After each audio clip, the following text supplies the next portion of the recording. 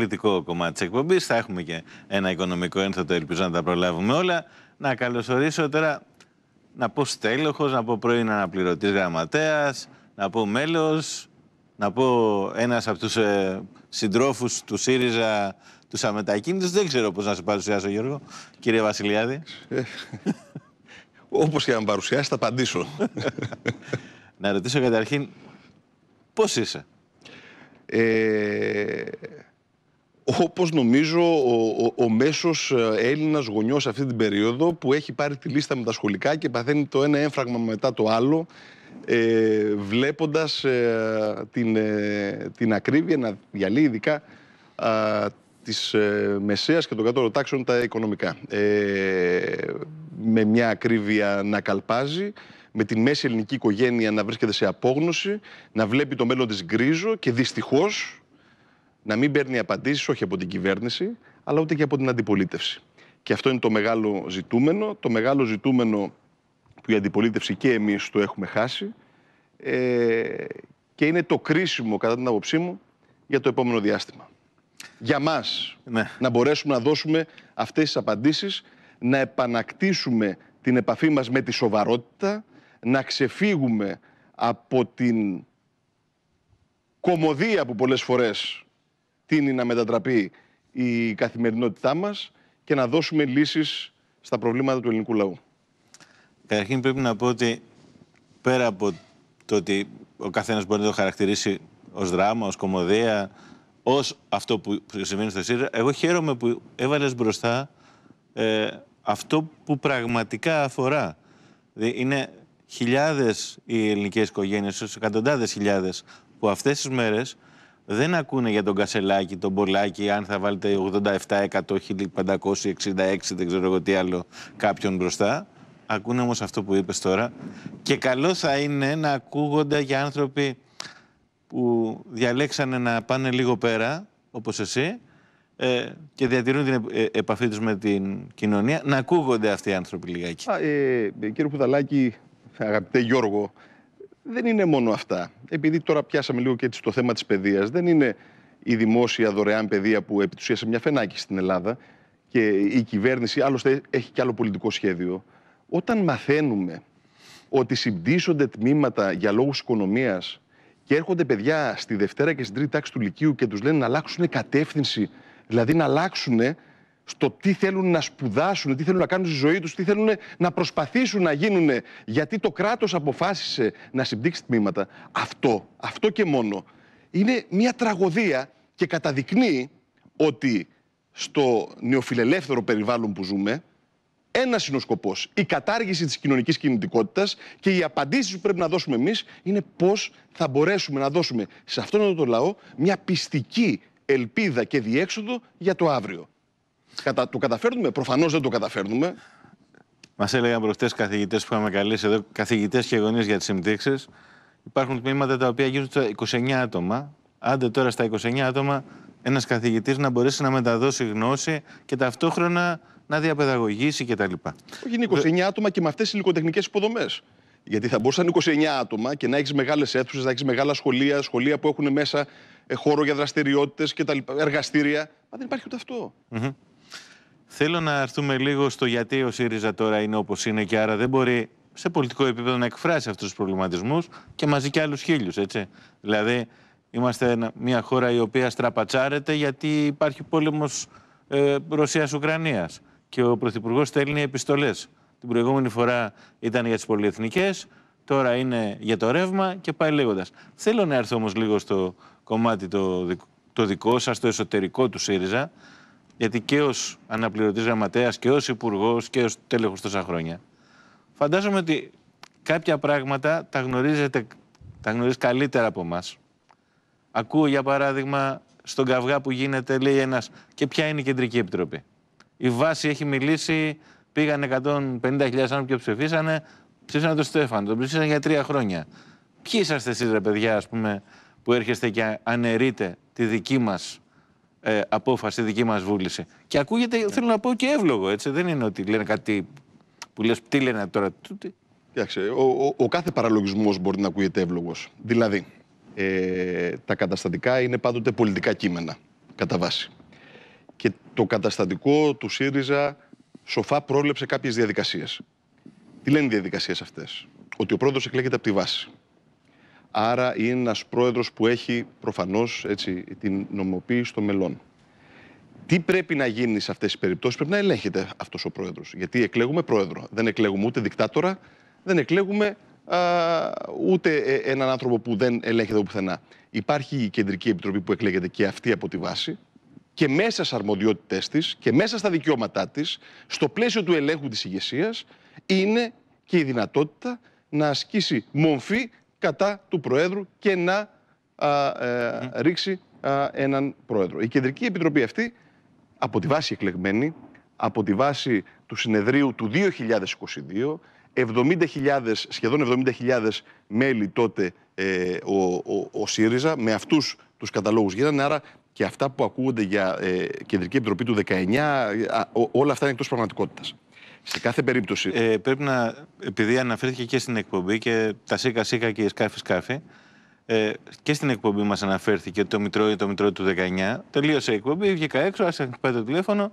Υπήρχαν κάποιοι φίλοι από το ΣΥΡΙΖΑ που μου λένε και εγώ πώς ψήφισα, αφού δεν ήμουν γραμμένος το 19 και με το ΆΗ ΣΥΡΙΖΑ εγγράφηκα και ψήφισα το 22. Δεν θα μπορούσε να ισχύει αυτό, γιατί και δηλαδή; το 19 δεν υπήρχε προοδευτική συμμαχία, δεν υπήρχαν ε, χιλιάδες ε, φίλων και συντρόφων οι οποίοι οργανωθήκαν στις γραμμές του κόμματός μας. Ε, και σε κάθε περίπτωση. Άρα, ένα ένας εμπλουτισμένος κατάλογος του 22 είναι ένας ανανεωμένος κατάλογος. Σε κάθε περίπτωση. Σε κάθε περίπτωση ε, το 19 το κόμμα είχε 30.000 μέλη. Το 22 είχε φτάσει 67-68.000 μέλη. Ε, θα σας, mm σας γελάσω, αλλά ε, τα νούμερα ήταν αυτά. Σε κάθε περίπτωση όμως, σε κάθε περίπτωση, ε, υπάρχει δυνατότητα στην Κεντρική Επιτροπή ελέγχου, ελέγχου του Προέδρου. Ε, οι διαδικασίες είναι βαθύτατα πολιτικές. Ο τρόπος που ακολουθήθηκε στη συγκεκριμένη Κεντρική Επιτροπή ε, ήταν αυτός που λέει το καταστατικό.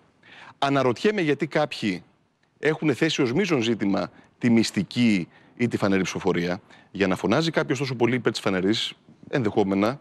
Δηλαδή, το, το, το ερώτημα αυτό, γιατί θέλετε μυστική ε, ψηφοφορία και όχι φανερή, γεννάει και αντίστροφα με τα ερωτήματα. Γιατί κάποιος να επιμένει τόσο πολύ ε, στη φανερή, γινόταν κάτι άλλο από πίσω απέναντι στα μέλη της Κεντρικής Επιτροπής; Αυτό το θέτω σαν ερώτημα. Σε κάθε περίπτωση. Θυμάμαι όμως τον Στέφανο Κασελάκη σε ένα ξέσπασμά του να λέει για να με βλέπετε στα μάτια. Έκανε και την κίνηση.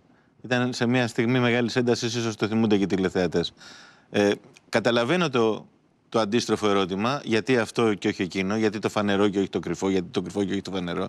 Αυτό για το οποίο όμως έγινε επίση πολύ μεγάλη συζήτηση ήταν ότι είχαμε κατά τα δύο τρίτα μυστική ψηφοφορία και κατά το ένα τρίτο τηλεφωνική ψηφοφορία. Αυτά τώρα, όποιος τα λέει αυτά, προσπαθεί απλά να δημιουργήσει εντυπώσεις στον ε, ΣΥΡΙΖΑ και παλιότερα στο συνασπισμό, πάντοτε για να δίνεται δυνατότητα στο σύνολο της Κεντρικής Επιτροπής να εκφράζεται, δινόταν η δυνατότητα σε όσους λείπανε να ψηφίζουν τηλεφωνικά. Mm-hmm. Αυτό δεν το κάναμε χθες για πρώτη φορά. Αυτό γίνεται εδώ και 30 χρόνια. Από τότε που θυμάμαι τον εαυτό μου, παιδάκι. Αν δεν κάνω λάθος, από το ρεπορτάζ που ακολούθησε του πρωτότυπου αυτού τρόπου για εμά που είμαστε απ' έξω, μου είπαν ότι και στην εκλογή του γραμματέα συνέβη. Σε κάθε εκλογή που ψηφίζουμε για πρόσωπα, που ψηφίζουμε για πρόσωπα, όχι τι πολιτικές αποφάσεις. Mm-hmm. Πολιτικές αποφάσεις, προφανώς εκεί πέρα παίζει πολιτική ευθύνη κτλ. Και, και είναι διανατάσσεως χειρός. Σε κάθε ψηφοφορία που αφορά πρόσωπα, πάντοτε μπαίνει κάλπη. Το ένα είναι αυτό. Και το δεύτερο είναι πάντοτε όσοι λείπουν, τους δίνεται η δυνατότητα να ψηφίζουν. Στην εκλογή που ε, ε, ε, εξελέγημεν εγώ και η Ράνια Ισβίγκου, πάλι είχαμε ε, και νομίζω πάνω από 20 ε, άτομα ψηφίσαν τηλεφωνικά. Αυτό το κάνει, αυτός ο χώρος, σας λέω, από γενέσεώς του. Άρα ε, ζητήματα τέτοια δεν υπάρχουν. Θέλω να πω ότι πάμε στο πολιτικό κομμάτι, αλλά κατά τη γνώμη μου για τους ανθρώπους που προσεγγίζουν με πραγματικό ενδιαφέρον και χωρίς φανατισμούς.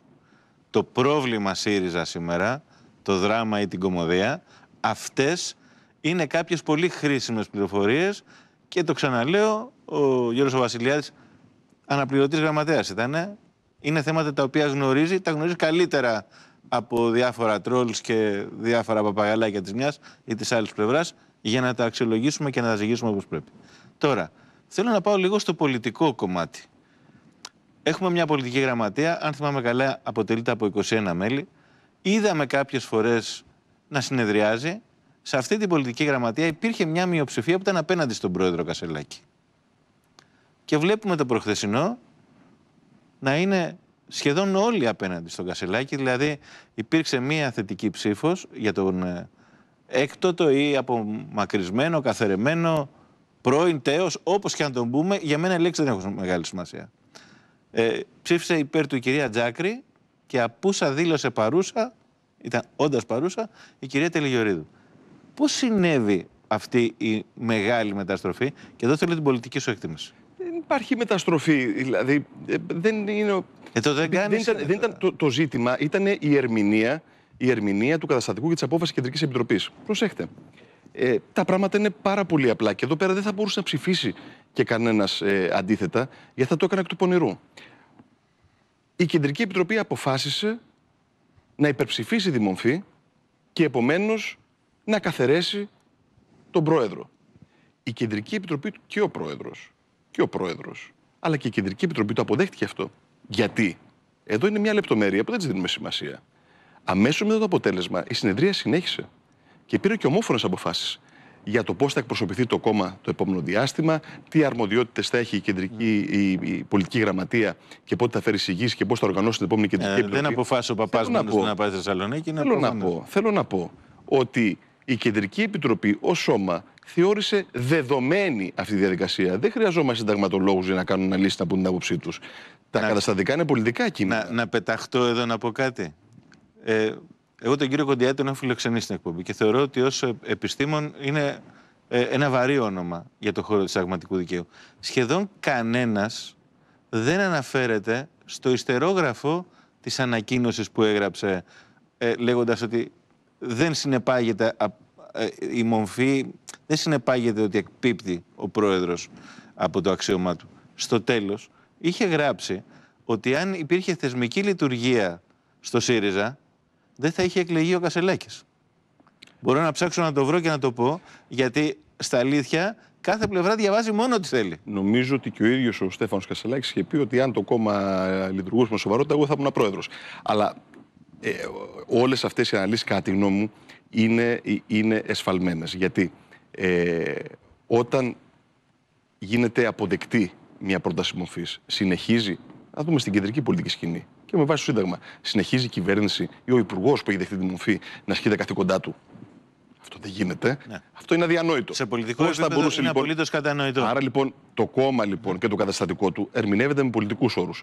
Και α, α, ο, ο κύριος ε, ερμηνευτής του καταστατικού στο τέλος της ημέρας είναι η Κεντρική Επιτροπή, η οποία και αποφάσισε και την ίδια μέρα προχώρησε και έδειξε. Ξεπερνάω σε κάθε περίπτωση, το καταστατικό, γυρνάω στο πολιτικό σε Κάθε περίπτωση, Πώς αν... τη χάνει στην πολιτική γραμματεία, πώς τη χάνει στην Κεντρική Επιτροπή; Κάτι συνέβη και άλλαξε η ισορροπία και θέλω να πω ότι και εσύ Γιώργο όταν παρετήθηκες είχε προηγηθεί αν θυμάμαι καλά αν δεν θυμάμαι καλά να με διορθώσεις ε, κάποιο διαδικτυακό δημοψήφισμα. Εκεί μέσα υπήρχε και η ερώτηση για το κόμμα. Καλά τα θυμάμαι, ή τα έχω φαγγελώσει τουλάχιστον Εγώ ήμουνα μετά το συνέδριο πραγματικά εκείνη την περίοδο. Κοιτάξτε, το, το μεγάλο πρόβλημα, το μεγάλο πρόβλημα ε, είναι ότι η απελθούσα ηγεσία α, είχε ένα δικό της πολιτικό σχέδιο στο μυαλό. Εγώ δεν το κρίνω, καλό ή κακό. Η άποψή μου ήταν πάντοτε, και εκφράστηκε και στο συνέδριο, ότι επειδή δεν πήρε με αυτή την ατζέντα τις εκλογές, δεν κατέβηκε ως υποψήφιος ο κ. Κασελάκης λέγοντας Θέλω να κάνω αυτό, αυτό και αυτό. Θέλω να καταργήσω την πολιτική γραμματεία. Θέλω να διορίζω την Κεντρική Επιτροπή. Θέλω τα πειθαρχικά όργανα του κόμματος. Ξέρετε, εμείς στο δικό μας το χώρο, ε, οι διαγραφές είναι το, η, η, η, έσχατη λύση που σπάνια τις ακολουθούσαμε γιατί βάζαμε πολύ, πολύ, πολύ, σφιχτές, πολύ σφιχτές διαδικασίες. Έρχεται μια πρόταση που λέει θα έρχεται ε, μια επιτροπή διοντολογίας η οποία επί της ήταν διορισμένη από τον πρόεδρο. Αυτά ήταν από την κοινή μας συμφωνία. Το κόμμα είναι μια κοινή συμφωνία. Βρισκόμαστε μια κάποιοι άνθρωποι. Μια θελοντική συμμετοχή πάντα. Ακριβώς. Άρα λοιπόν, όταν έρχεται να αλλάξει τους βασικούς κανόνες αυτής της συμφωνίας, αυτό είναι στο οργανωτικό επίπεδο, αλλά και στο πολιτικό επίπεδο. Όταν βλέπουμε ότι αλλάζει η θέση του κόμματος, θέλετε για την άποψη περί ιερής συμμαχίας του ΝΑΤΟ, θέλετε για την άποψη και την θέση ο, ο ΣΥΡΙΖΑ να υπερψηφίζει κάθε αμυντική δαπάνη; Και να ερχόμαστε μετά στο παράδοξο και κοιτάξτε τον προς πίσω να λέμε ότι αλλάζει γραμμή και υπερψηφίζουμε κάθε αμυντική δαπάνη και την ίδια στιγμή, επειδή τα διέξοδα είναι δεδομένα και η οικονομία είναι μαθηματικά. Να λέμε, ο ίδιος ο πρόεδρος, και ορθά το είχε πει τότε, αλλά ερχόταν σε κόντρα με την προηγούμενη γραμμή του, ας αγοράσουμε και ένα αεροπλάνο λιγότερο για να μπορέσουμε να στηρίξουμε τη δημόσια για υγεία. Τα F-35. Προσέχετε λοιπόν τώρα. Ε, Άρα... Για τα, για τα F-35 έγινε σχόλιο σήμερα και από τον Παύλο Πολάκη. Συνεχείς παλινοδίες. Ο Παύλος Πολάκης, επειδή συμμετείχα και σε εκείνη τη συνεδρίαση της, ε, του Προεδρείου της Κοινοβουλευτικής Ομάδας, όντως είχε διαχωρίσει του ορθά, όπως ε, και άλλοι δεν έχει σημασία τώρα αυτά. Αναφέρθηκε και σε κάτι ακόμα και γι' αυτό πήρα την πάσα. Είπε ότι του μίλησε άσχημα. Ο Πολάκης σήμερα, ο Παύλης, αναφέρθηκε στο συγκεκριμένο περιστατικό, λέγοντας ότι για τα F-35 ένα τόσο σοβαρό θέμα πρέπει να υπάρχει, να υπάρχει διάλογος. Ο ίδιος αντέδρασε και ο Κασελάκης του μίλησε άσχημα. Κάπως άσχημα. Δεν ξέρω αν θυμάστε το περιστατικό και δεν θέλω να κολλήσω. Ρωτώ όμως, μήπως ήταν και θέμα συμπεριφορών. Γιατί αυτό που μας περιγράφεις μέχρι τώρα, Γιώργο, είναι ότι υπήρχαν υπήρχε έκφραση πολιτικών θέσεων με τις οποίες δεν, είχατε, δεν είστε σύμφωνοι. και ταυτόχρονα ρωτώ αν υπήρχαν και συμπεριφορές. Πολιτικές παλινοδίε. Προφανώς υπήρχαν και συμπεριφορές, αλλά εγώ γενικά είμαι της άποψης ότι δεν πρέπει να βγάζουμε τα άμπλητά μας στη φόρα και ε, πολλές φορές και τις εντάσεις μας, το έχω πει ότι τα όργανα δεν είναι και κατηχητικό. Πάντοτε θα υπάρχουν εντάσεις και, και στιγμές που ο καθένας ξεφεύγει, αλλά όταν έχεις μια κεντρική επιτροπή η οποία μετά τη διάσπαση σε στηρίζει απόλυτα και μέσα σε έξι μήνες η Κεντρική Επιτροπή υπερψηφίζει με τόσο μεγάλη πλειοψηφία μια πρόταση μορφής, σημαίνει ότι κάτι πάει στραβά, κάτι έχεις κάνει λάθος. Η άποψή μου λοιπόν ήταν ότι το Φλεβάρι έπρεπε να πάμε σε καθαρές λύσεις. Δηλαδή θα έπρεπε ήδη να έχουν πάει σε εκλογές με τα προτάγματά του και ο Στέφανος Κασελάκης, αν κέρδιζε, να μπορούσε να κάνει αυτό που έχει στο μυαλό του. Ε, εγώ δεν διεκδικώ για μένα την μοναδική ε, αλήθεια ή ότι εγώ τα λέω στα, ο άλλος τα λέει λάθος, αλλά πρέπει να ξέρουμε ποια είναι τα όρια μας, ποια είναι τα προτάγματα για να δούμε ποιοι, πώς και αν χωράμε να πορευτούμε μαζί την επόμενη μέρα. Να ρωτήσω λοιπόν για κάτι ακόμα. Εγώ καταλαβαίνω ότι σε αυτούς τους 11 μήνες υπήρξε μια καλύτερη, βαθύτερη γνωριμία προφανώς και πολιτικές διαφωνίες που, οι οποίες προστίθενται η μία δίπλα στην άλλη.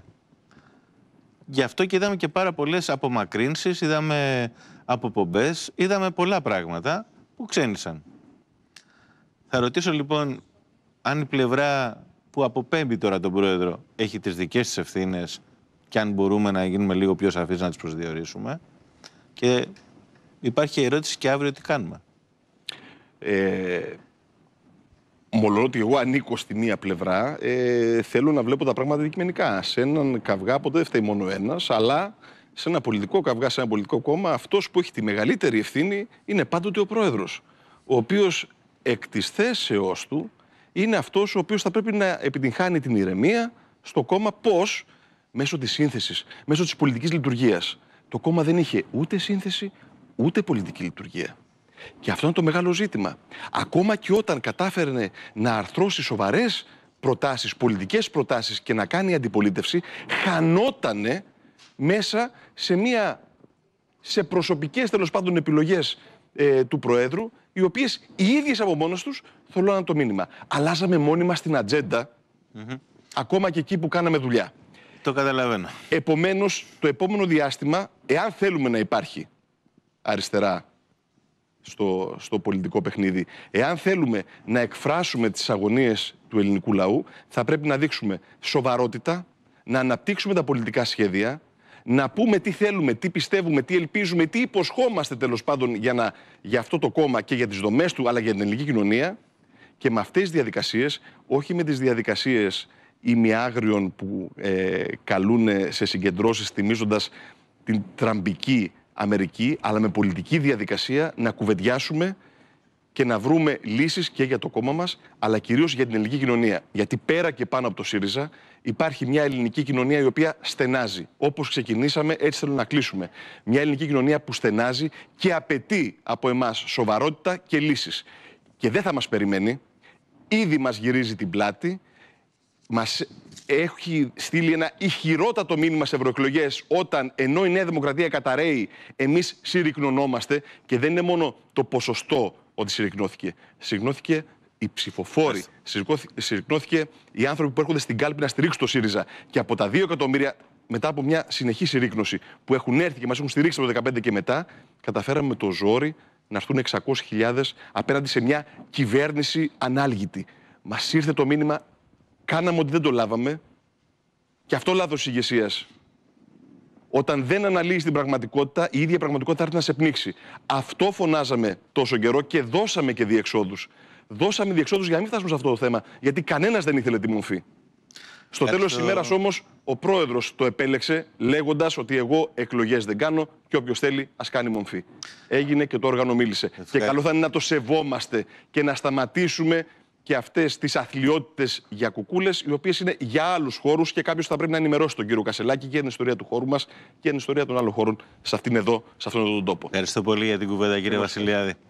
Ελπίζω ότι καταλάβατε και γι' αυτό έγινε και πολύ έτσι, αναλυτικό σε κάποιες ερωτήσεις